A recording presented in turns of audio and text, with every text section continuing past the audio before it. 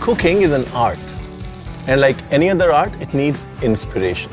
And when people ask me, what is the one thing that I'd like to bring out into the Indian kitchen? My answer is always color. This is Ranveer Brar for Home Centre.